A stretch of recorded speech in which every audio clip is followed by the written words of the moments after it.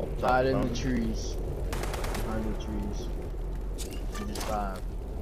And that's how we're gonna win.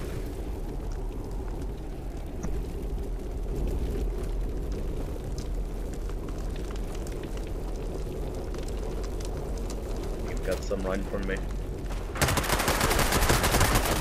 Shit.